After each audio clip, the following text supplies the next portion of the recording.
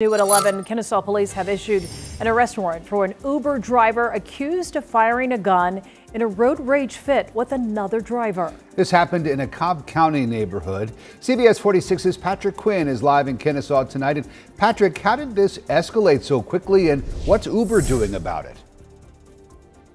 All right, well, I'll get to Uber's response shortly. For the rideshare co company is certainly aware that this happened. Now, I'm told that this really all started from a rolled stop sign, and even that is unclear if it actually happened. After that, tempers flared and gunfire followed. He followed me and he shot at me. So you heard the gunshot? Yes, it was really loud really, really loud. For this driver who didn't want to use his name for fear of retaliation, he said it all started like this. He was driving up Ridgecrest Drive in Kennesaw when an Uber driver, who police have identified as Kenneth Antonio Nichols, in this silver Jeep Compass, caught on neighbor surveillance footage, rolled through this stop sign while dropping off a rider.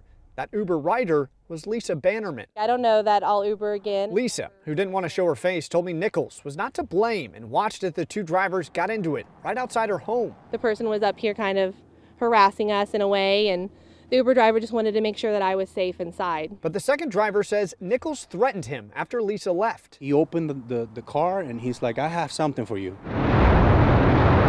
That's when the driver told me he drove off. He said Nichols followed him and fired at him a couple blocks later. It's scary because you don't you can't see the bullet.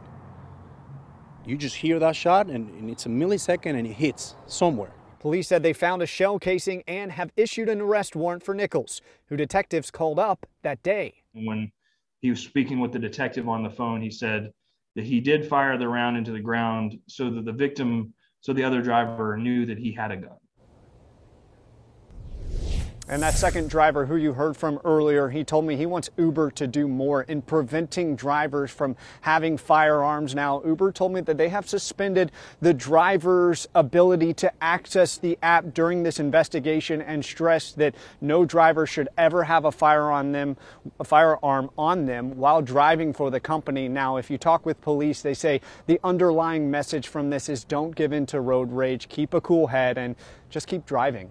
Live in Kennesaw tonight, Patrick Quinn, CBS 46 News.